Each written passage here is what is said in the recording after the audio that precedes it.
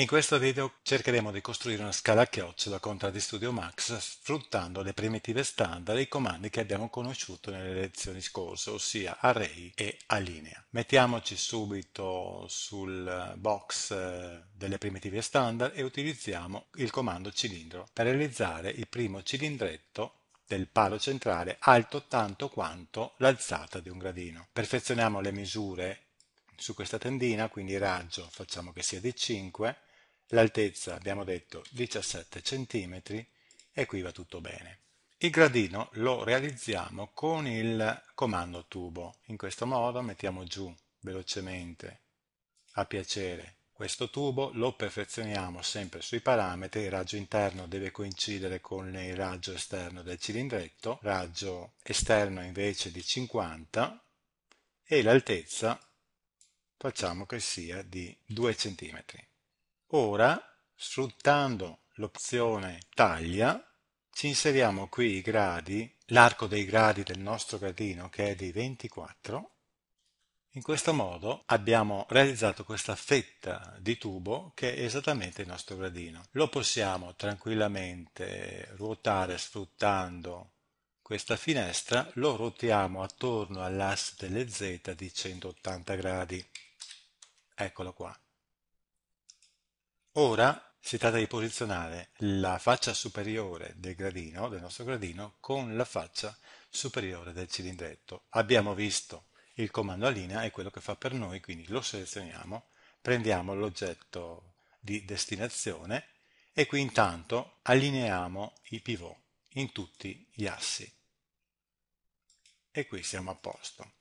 Ora si tratta di far coincidere le due facce superiori dei due oggetti. Riprendiamo il comando a linea, sempre il cilindretto, sfruttiamo semplicemente l'asse delle Z e diciamo che la faccia superiore deve coincidere, anzi devono coincidere tutte e due, cioè le due facce superiori devono essere allineate. Ecco qui il risultato ed è quello che volevamo. Diamo ok a questo punto direi di fare un ulteriore gradino, questo qua lo utilizziamo per creare, per farlo in materiale di legno, quindi cambiamoci anche il colore. Poi direi di fare una copia con Shift, eccola qua, mettiamoci un colore diverso, eccolo, in modo di avere poi la possibilità quando si assegnano i materiali di assegnare appunto il materiale ferro nella parte inferiore e invece materiale legno sulla parte superiore.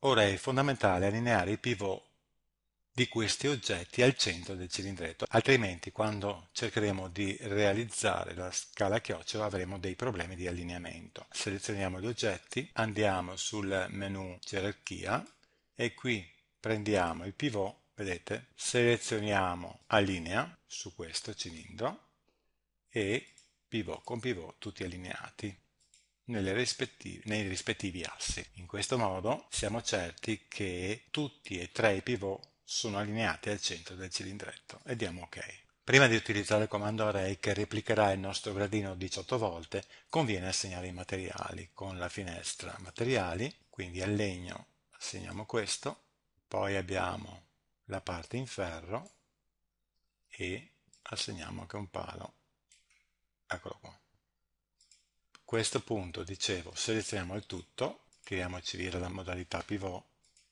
selezioniamo il tutto, ci portiamo su strumenti, array e cominciamo a costruire la scala.